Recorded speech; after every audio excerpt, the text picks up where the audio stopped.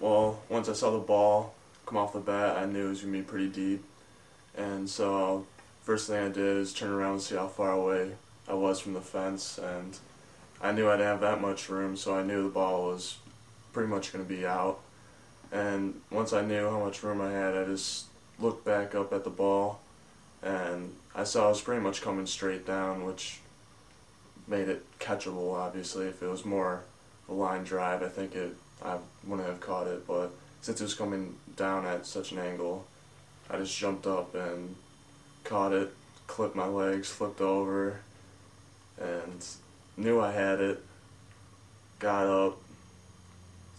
Teammates celebrated with me. It was great.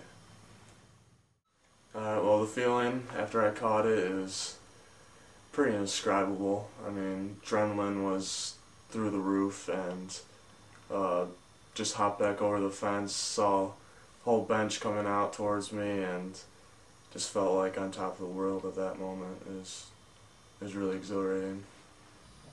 Uh, yeah, after the game, bus ride home was a pretty cool experience. Everyone was going nuts. I mean, the atmosphere was unbelievable. Everyone was really pumped up, and uh, this really is a good booster for us going into Saturday's game against DeKalb. I think every kid dreams about making that game-winning catch or game-winning home run, so for it to actually happen is is pretty cool.